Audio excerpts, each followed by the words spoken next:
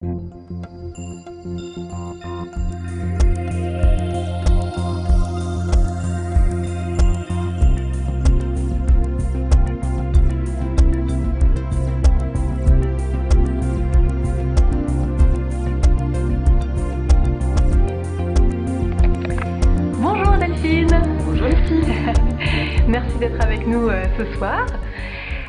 Euh, alors, tu fais partie d'une association qui Mhm. s'appelle euh, les Blongios. Oui, les Blongios, la nature en chantier. Mhm. Alors, est-ce que tu pourrais nous dire euh, quel est ton rôle ou, ou- ou ta fonction au sein de cette association, tout d'abord? Ouais, donc je vais présenter un petit peu l'association. Donc on est une association, il y a environ entre 3 et 400 euh, bénévoles, hein, donc c'est une association de bénévoles. Et le but c'est de donner un petit peu du temps à, à soi, de se donner du temps et donner du temps à la nature. Donc en fait, euh, le temps d'une journée, d'un week-end, voire d'une semaine, on va travailler dans des milieux naturels pour aider ces milieux à aller mieux. hein. Très bien. Et alors, quel est ton rôle ou ta fonction au sein de cette association? Alors moi en fait je suis bénévole euh, déjà depuis, euh, depuis plusieurs années dans l'association donc en fait bah, j'essaie de parler de l'association autour de moi pour amener mes amis euh, à faire des chantiers bénévoles. Euh, je suis maintenant euh, cette année aussi euh, administratrice donc je vois l'autre côté du décor et, et donc puis je réalise aussi des, des chantiers nature avec mes élèves puisque je suis enseignante. Génial. Alors, depuis combien de temps cette association existe-t-elle et où est-ce qu'elle est implantée? Alors, en fait, on va fêter nos 20 ans cette année, donc le 13 et le 14 octobre. Donc, finalement, c'est une association qui, qui dure dans le temps. Euh, elle est basée à Lille, mais on propose euh, des chantiers bénévoles un petit peu partout dans la région du Nord-Pas-de-Calais et également dans d'autres régions de France, comme en Normandie, en Camargue. Et il y a aussi certains euh, chantiers qui se passent à l'étranger. Hein. Donc le chantier euh, est gratuit, on est logé et nourri, c'est offert euh, par la- par l'association, c'est du bénévolat, donc il Mhm. faut juste donner du temps.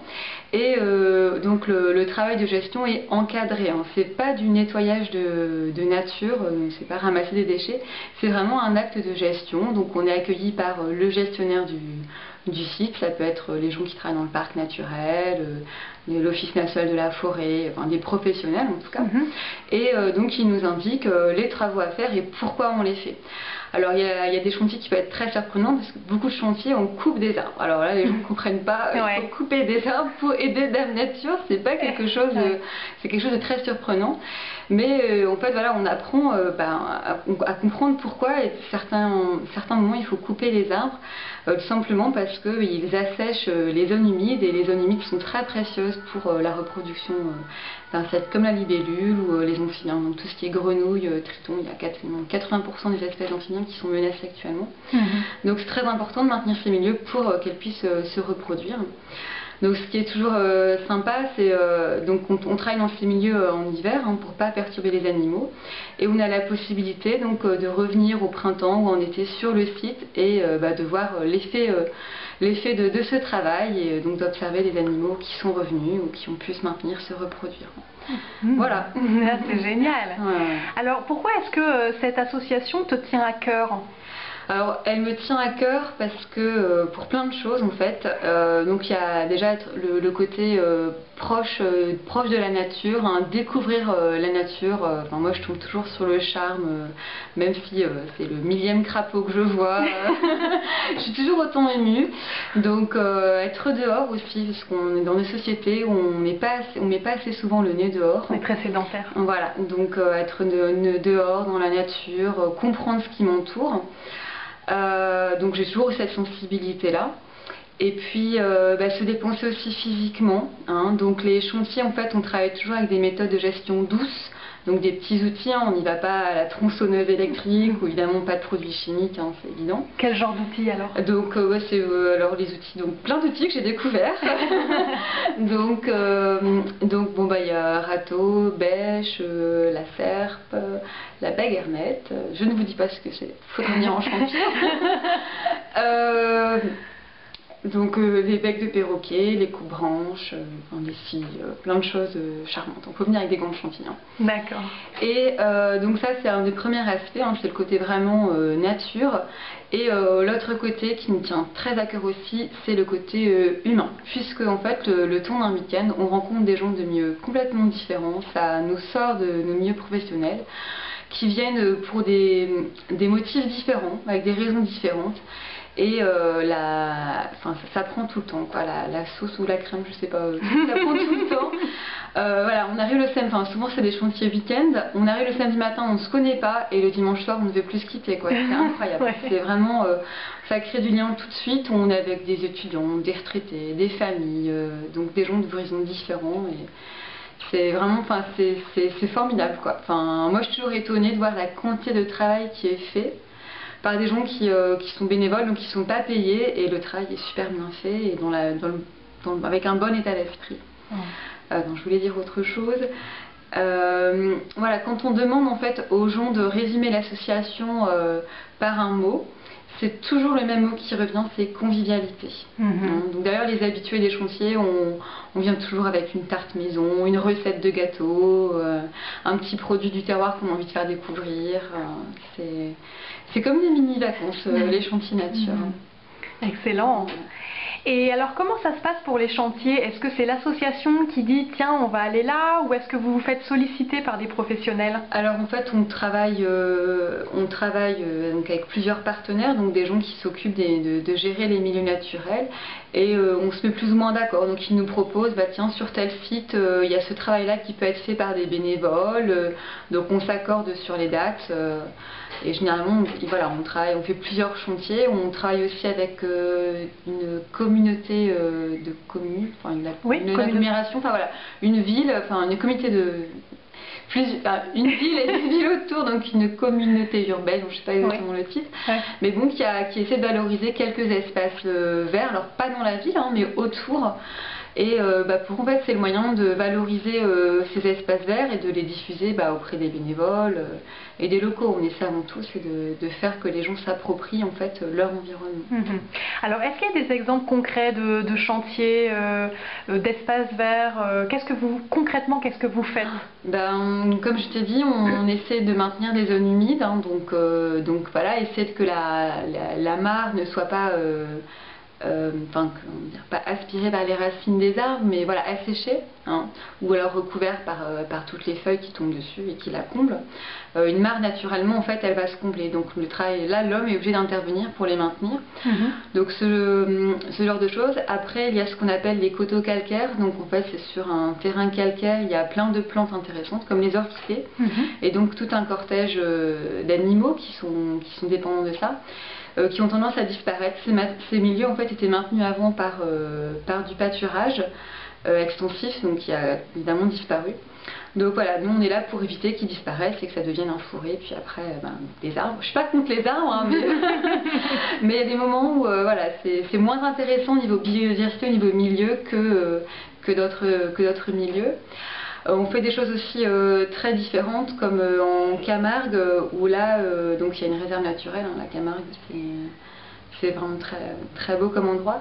Et là, en fait, c'est un chantier de platelage. Donc, en fait, on aménage un, chantier avec, avec du bois pour le rendre accessible à, tous. Mhm. Donc, voilà, c'est très différent. Et, et du coup, on, apprend aussi d'autres manières. Donc, j'ai audité de nouveaux outils. C'est bien. voilà. Et alors, à l'étranger, euh, dans quel pays ça se passe? Alors, à l'étranger, on a un chantier dans le Kent, donc en Angleterre. Et euh, je ne sais plus s'il existe encore, mais on, est, pendant plusieurs années, on est parti aux Pays-Bas aussi. D'accord. j'ai encore jamais fait ces chantiers. D'accord, très bien.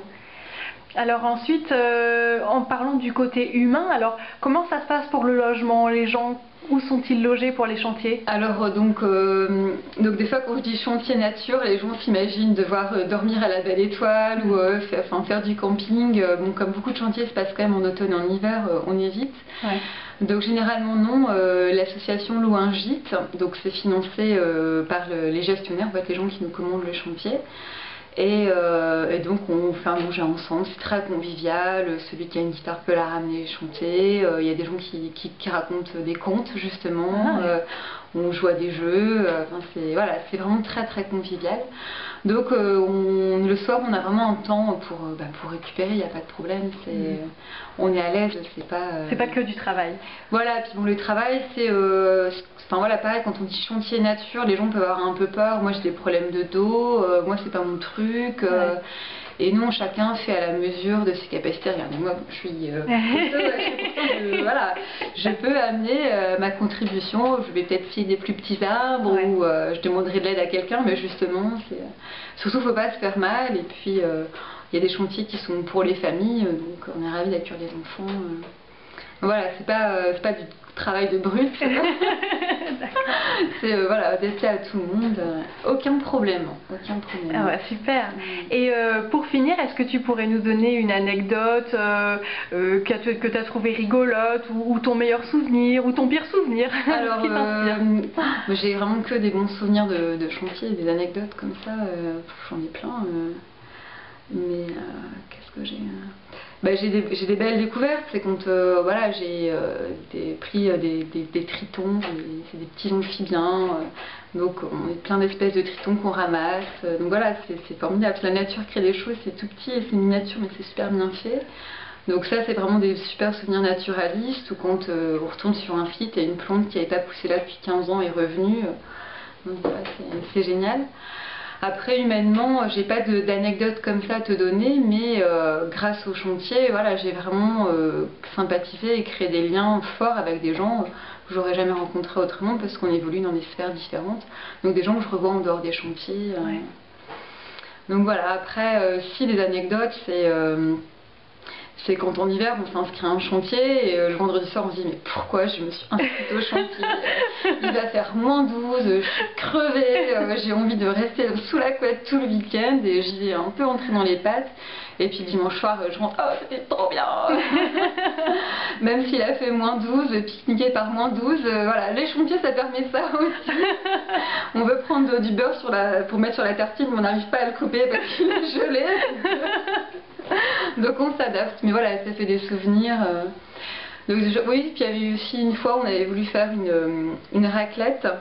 Et euh, donc on avait fait une grande tablée. Donc moi j'avais ramené mon appareil raclette et un copain avait ramené le sien mais celui du copain ne marchait pas. Donc euh, moi j'étais à la mauvaise table, je voyais mon appareil raclette qui chauffait avec les gens qui, me faisaient, qui, faisaient chauffer leur fromage, qui pouvaient manger, et nous on attendait qu'ils se mettent à marcher. Donc on a fini par faire chauffer nos, petits poêlons avec le fromage sur un radiateur. Mais ça marche aussi. Avec les moyens du bord. avec les moyens du bord, voilà. du coup on a, on, a mangé un peu plus tard, mais on a, on a bien rigolé. Quoi. Donc voilà, ce genre de souvenirs. Euh. Alors un petit mot pour, euh, pour les gens qui connaissent pas les chantiers nature et qui auraient éventuellement envie de découvrir. Il bah, faut, faut pas hésiter, c'est normal de se poser des questions, d'avoir une appréhension quand on connaît pas les choses. Donc ça c'est normal. Moi j'ai eu l'appréhension aussi hein, la première fois que j'ai fait un chantier, je me suis dit bon, euh, j'avais peur de me retrouver qu'avec des gens qui se connaissaient, qui étaient habitués. Et, et non, sur un chantier il y a toujours des habitués, toujours des nouveaux et donc le mélange se fait très bien. Euh, pas besoin d'être euh, physiquement hyper costaud. si vous êtes costaud, c'est bien. Mais euh, venez, voilà, venez comme vous êtes, hein, avec sa bonne humeur et puis un petit gâteau, une petite confiture maison. Super. Donc aucune appréhension à avoir. Et si on et si on veut découvrir justement cette association, par quels moyens on peut on peut se renseigner? Donc on est en train de refaire notre site internet hein, pour fêter nos 20 ans, mais on a toujours lancé un site qui fonctionne, donc c'est euh, www.lesblongios.fr. Donc les Blongios, euh, L-E-S, B-L-O-N-J-O-S. Donc oui, enfin, je vais peut-être aussi expliquer ce que c'est que les blongios. Oui, hein. oui c'est quoi les ah, donc, euh, Ou alors, non, je le dis pas, comme ça, je vais sur le reste. Mais euh, en fait, c'est euh, donc l'association a été créée il y a donc 20 ans par euh, une bande de copains qui ont, qui ont voulu en fait préserver un, marais où venait se reproduire un oiseau qui s'appelle le blangios. Donc le blangios, c'est un oiseau de la même famille que les hérons, mais c'est un tout petit héron en fait, et qui a besoin de milieux humides pour sa reproduction. Donc voilà, donc du coup ils ont appelé l'association les blangios et c'est notre logo, notre symbole. Génial. Voilà. bah, merci beaucoup, Delphine. Bah, merci, j'espère vous voir très nombreux sur, euh, sur les Champiers, voilà. Merci.